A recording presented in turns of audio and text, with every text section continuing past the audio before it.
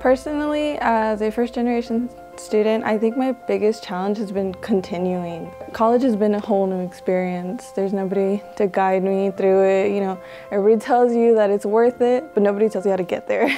so, yeah, keep continuing has been very hard. I just want to be like secure in my life, which is the reason that I do continue because I know that if anything, I'll always be able to fall back on my education.